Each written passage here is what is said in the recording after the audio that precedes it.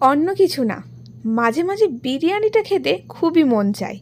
কিন্তু যেহেতু হাজব্যান্ড খায় না, তাই আর ঠিক বানিয়ে ওঠা হয় না। তাই মাঝে মাঝেই আমার জন্য দোকান থেকেই কিনে এনে দেয়। আজ দুপুরেও ঠিক তেমনি আমার জন্য হাজব্যান্ড এনে দিয়েছিল চিকেন বিরিয়ানি।